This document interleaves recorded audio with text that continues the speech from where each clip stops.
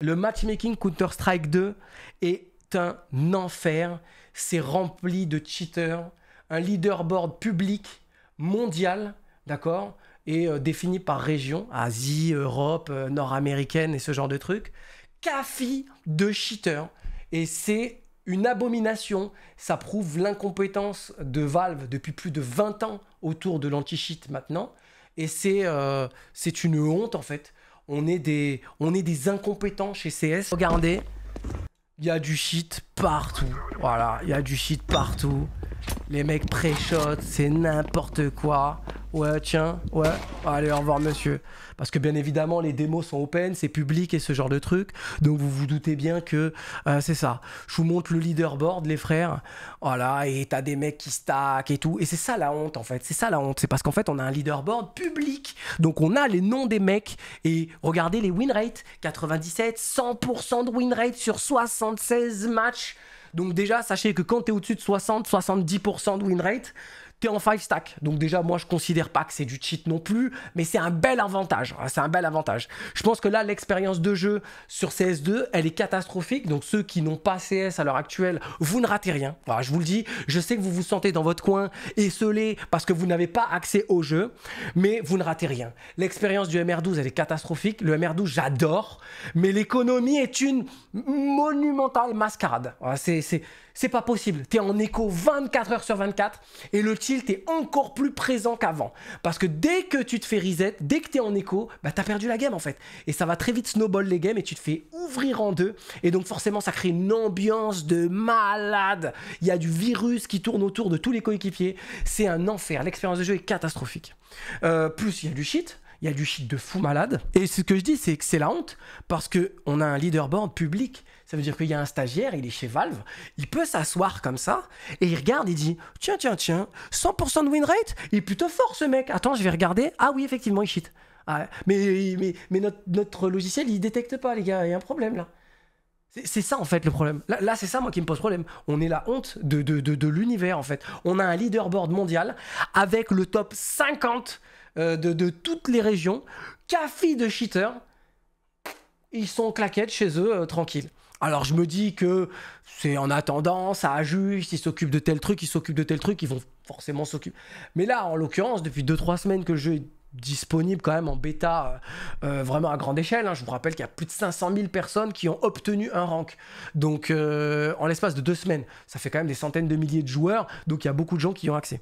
Euh, bah, c'est c'est de la merde. Il y a des bugs, il y a des bugs à plus savoir qu'en faire. Donc regardez, hein, je vous mets une petite action. Voilà, on fait un petit kill là sur Anubis. Là, je veux ramasser la M4, vous voyez, donc je jette, je jette mon arme. Donc déjà, j'essaye de ramasser l'arme. J'y arrive pas. Donc ça, il y a un problème aussi de hitbox des armes. Quand on veut prendre des armes sur CS2, c'est un enfer.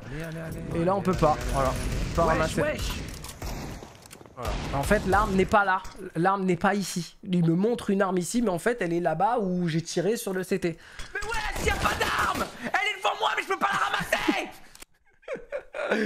Moi, je vis pour le divertissement, les gars. Donc euh, voilà, donc il y a plein de ce genre de bugs euh, de merde. Euh, et surtout, voilà, là, je, vais vous lire mon tweet très éloquent. L'économie sur CS2, 14 septembre. C'était mon anniversaire d'ailleurs, les amis. donc venez vous abonner à ma chaîne Twitch pour mon anniversaire. Merci beaucoup. L'économie sur CS2 est un enfer. Je vois pas un monde où ça reste comme ça avec le MR12. Tu te fais reset, t'es en full écho toute la game derrière. Ça va être, ça va entre des games à sens unique, full win ou full lose avec gros give up, tilt et rage. Voilà. Et donc je fais un update après toute la journée avoir joué encore une fois à MR12 euh, avec l'économie actuelle. Après encore une journée sur CS2, je le dis haut et fort, le MR12 avec cette économie, c'est de la merde absolue. Voilà.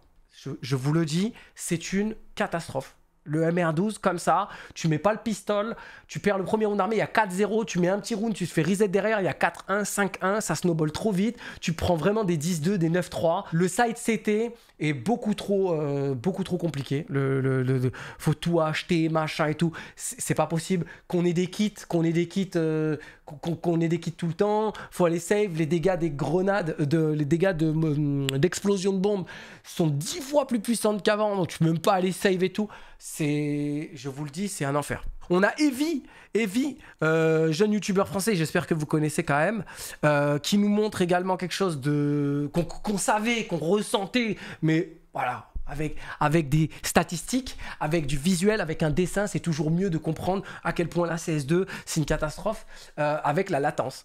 Latence, input lag, interpolate, appelez ça comme vous voulez. De toute façon, c'est un mix des trois.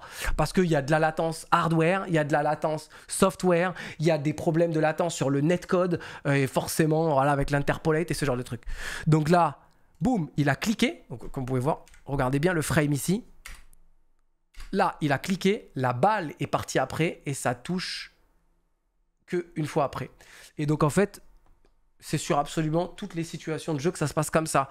Mais pas que, hein. même jeter une grenade, c'est bizarre sur Counter-Strike 2 elle colle à mon gant, frère. Je veux mettre une molotov, ma, main, elle part comme ça. J'en peux plus, j'en peux plus. Il y a de l'interpolate de fou. Le fond du jeu est mauvais, mauvais. Counter-Strike 2, on veut, des, on veut des corrections. Là, le netcode et tout, c'est pas possible. Je, CSGO me manque. Euh, alors, on peut toujours y jouer à CSGO, hein, je dis ça euh, comme s'il il avait disparu. Bon, il va disparaître, hein, sachez-le. Mais euh, là, le netcode et tout, c'est pas possible. Il y a de l'interpolate de fou. voilà, et en plus, ça a été mesuré. Et et euh, Evie nous dit le retour visuel de la pression de votre souris euh, est différent, distinct du tir réel et s'affiche avec un délai allant jusqu'à 15,6 millisecondes. 15,6 millisecondes. C'est énormissime. Voilà. Rajouter à ça des pertes de FPS, rajouter à ça une connexion un peu catastrophique que vous pouvez avoir et tout, parce que pas tout le monde n'a la fibre optique avec la dernière carte graphique, la dernière carte réseau et tout machin. Rajoute un peu des trucs, tu vois, qui font chier. Un mec qui a pas un écran de fou malade, qui est en 60 Hz ou quoi, ben tu tires. Tu, tu, le mort, il est à la game d'après. C'est pas possible. Le ressenti, le feeling est vraiment très mauvais euh, à l'heure actuelle. Et pour nuancer tout ça, sachez que le MR12, bah, c'est potentiellement le truc le, plus euh, positif qui peut arriver à Counter-Strike 2. Donc tout sport confondu, tout, tout style de divertissement confondu, CSGO, voilà, et le jeu qui euh, demande le plus d'attention quand on doit suivre de la compétition. En moyenne, 3h29 un match. C'est plus que du football américain, frère. Rends-toi compte avec, le, Super Bowl et tout ça. La NBA, pareil, c'est un enfer à suivre parce que les matchs durent très longtemps, les cartons, les machins et tout. Et nous, ça dure quand même plus longtemps. Et il faut comprendre qu'il faut réduire ça, en fait. Il faut réduire ça, c'est obligatoire. Donc le MR12, pour moi, c'est une bonne chose. Le MR12 avec cette économie, c'est pas possible. C'est pas possible. Je, je ne vois pas un monde où cette économie perdure sur le MR12. Ou alors, ou alors, on ne verra plus jamais Counter-Strike comme on l'a déjà connu. La WAP, la M4, l'AK, ça va disparaître tout le monde va, va, s'acheter des PM et on va se jouer au shotgun, on va se jouer au P90, on va se faire des rounds totalement nuls à chier avec tout le monde au FAMAS, tout le monde à la Galil, euh, des scouts, euh, des fusils à pompe. Ça va être que ça en fait. ça va être que ça parce que ces armes sont pertinentes, hein, ces armes sont très fortes. Mais euh, ça va être PM contre PM. Tu n'auras pas la, quintessence de une M4 vs une un mec qui sort la WAP et tout. Peut-être les mecs qui vont basculer au scout plus qu'à la WAP, je sais pas. Ou alors ça va save tout le temps. tu perds un mec, tu tu perds deux mecs, t'es 3v4, allez hop, on écho, on s'en fout, on, écho, on, joue le round d'après. Je pense que en termes de tactique, ça va, c'est pas possible. Cette économie n'est pas viable. Et donc pour moi, oui, il faut réduire ce temps-là parce que 3h29 pour un match, c'est pas possible. Il faut se mettre à la place de monsieur tout le monde. Tu rentres chez toi le soir, tu rentres du boulot, tu rentres de l'école, tu rentres d'un date avec ta choupette et tout, euh, ou ton compagnon T'as envie de te mettre un petit CS, frérot, tu sais que t'en as pour 3 heures pour regarder un BO, c'est pas possible, c'est pas possible, il faut réduire ce temps-là, tu vois, euh, euh, pour enchaîner aussi, pour essayer de suivre plus de matchs. Euh, parce que sinon, ça veut dire que tu vas devoir sélectionner. Tu as envie, de voir que du Vita, que du Navi, que du G2. Si tu as envie de regarder deux, trois équipes différentes, ça veut dire quoi? Tu dois réserver trois semaines de vacances?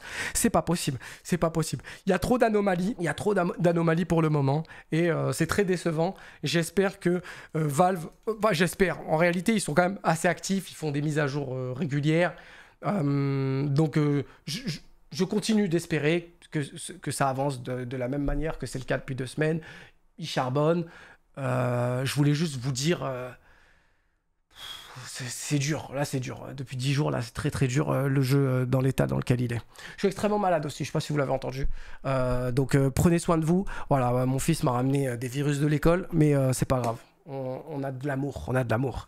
Merci les gars, je vous donne rendez-vous la semaine prochaine. Des bisous sur vous.